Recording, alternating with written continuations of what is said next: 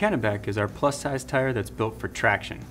Taller, broader space center lugs have perpendicular siping for maximum traction when braking and accelerating.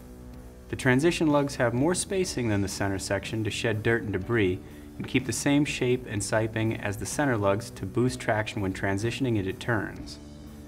Staggered side lugs with siping that's parallel to the direction of travel help provide traction when the tire is leaned over through corners. And finally, these side lugs have buttressing to support them under heavy cornering loads. Kennebec is available in the following sizes and constructions.